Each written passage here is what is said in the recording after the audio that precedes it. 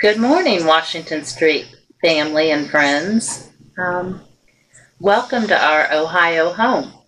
This is our backyard where we're going to get to spend the next few minutes sharing just a devotion that God shared with me in the middle of the night. He has a tendency to have my attention when I don't have so much to do and I can't sleep. So I get up and one of my go-tos is a book called The Power of Pause. P A U S E.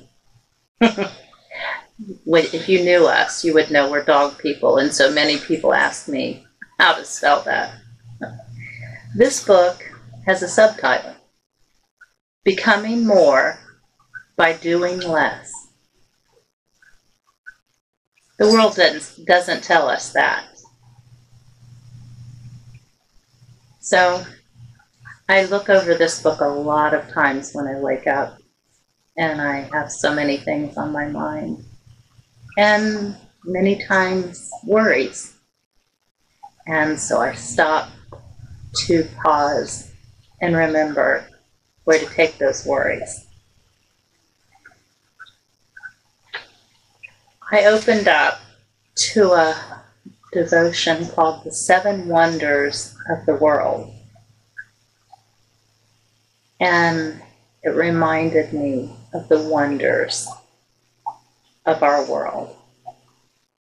Sometimes we can focus on the big things. And so I began to read. And of course, it caught my attention because it's about children, and I love children. There was a first grade teacher that was trying to teach her students about the big wonders of the world. So she asked them to make a list of the wonders. Many of them wanted to raise their hand and share their list. The Grand Canyon, the pyramids, and they went on and on, and she was just so proud. And she noticed a little girl sitting confused and shy. And she asked her if she'd like to share from her list. And the little girl said, I think I misunderstood the assignment. She said, Well, share with me from your list. And the little girl said, The seven wonders of the world hmm, are to see, to hear, to touch, to smell, to feel, to love, to belong. No wonder Jesus loved the little children. In childlike wonder, she, she got it. The world tells us bigger is better. Jesus told us as he talks with the disciples if you, in the 18th chapter of Matthew, I tell you the truth, unless you change and become like little children, you will never enter the kingdom of heaven. Therefore, humble yourself like this child, and you'll be. Then you'll find the greatness. Have you lost your wonder? If you're looking, God will bring wonder into your life in the most unlikely places. I was trimming a bush the other day and saw a bird's nest and thought, oh, I would love to capture that.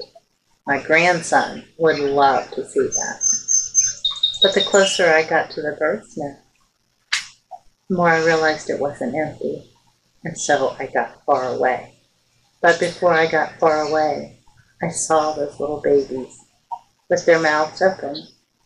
They heard something and they thought it was their mama. The wonder of new life can replace the worry. But we have to pause. Sometimes that's hard to be still.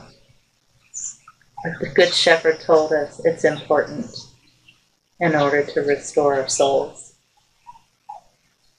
My prayer for you, Washington Street, and the rest of our world is that we take time to be still and search for the wonders in our lives. If you need some help, call a child and tell them you're looking for something to wonder about. Guarantee you they'll come up with something. Let's all remember how important it is to have childlike faith all the time, but especially during challenging times. Peace be with you. As I say goodbye, I want you to know you're in my prayers. God bless.